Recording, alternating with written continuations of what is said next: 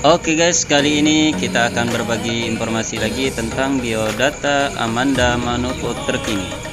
Aktris Indonesia yang bermulti talenta berdarah Spanyol. Telah kita ketahui, Amanda Gabriela Manopo Lugue adalah salah satu aktris multi talenta Indonesia. Sosok Amanda mungkin sudah sangat tidak asing lagi di telinga masyarakat, sebab ia sering tampil di layar kaca maupun menjadi bintang iklan.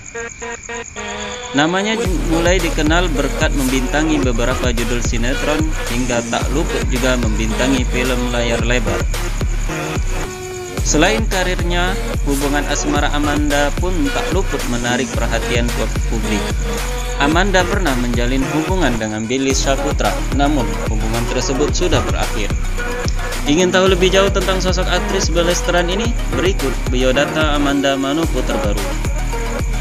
Nama lengkap Amanda Gabriela Luge, dipanggil Amanda Manopo. Lahir di Jakarta pada tanggal 6 Desember 1999. Saat ini Amanda berumur 21 tahun.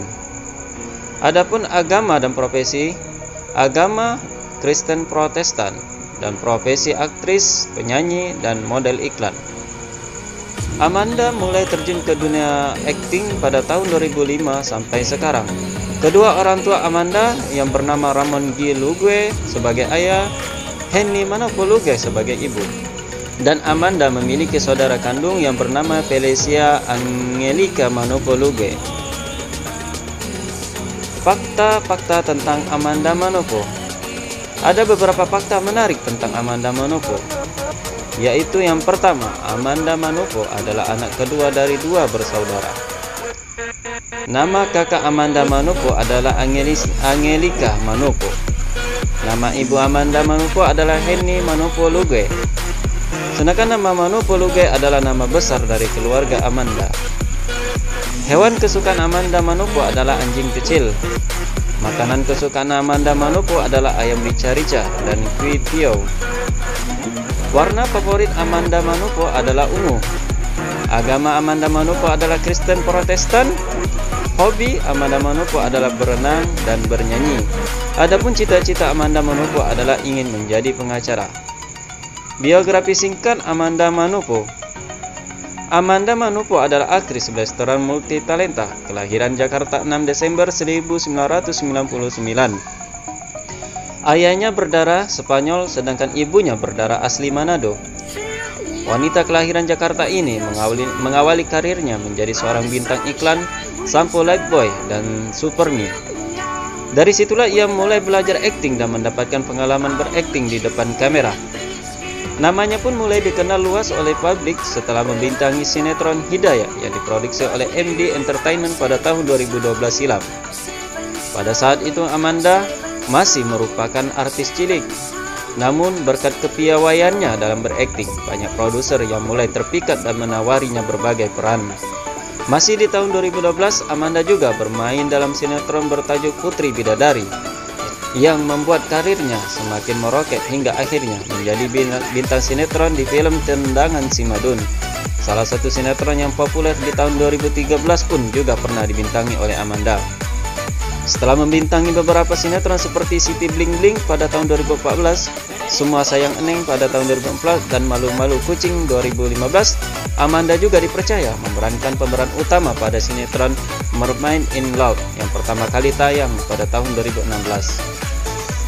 Kesuksesannya dalam membawakan perannya dalam sinetron Mermaid in Love seri pertama dan seri kedua membuat Amanda berhasil masuk ke dalam nominasi Panasonic Global Awards pada tahun 2016 dalam kategori artis terpopuler.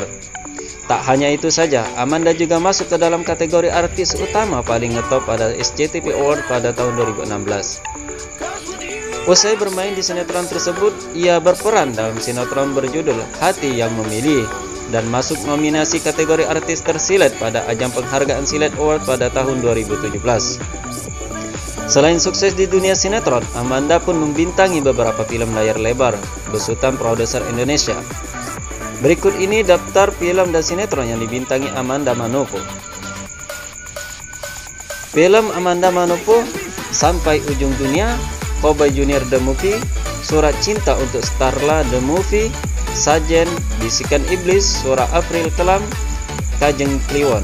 Sedangkan sinetron Amanda Manopo yang pernah diperankannya, Hidayah, Kebesaran Allah, Putri Bidadari, Biru, Tendangan Si Madun Retrus, Siti Bling Bling, Semua Sayang Eneng, Malu-Malu Kucing, Mermaid in Love, Mermaid in Love 2, Hati yang Memilih, Ada Dua Cinta, Tangis Kehidupan Wanita atau Bintang Tamu.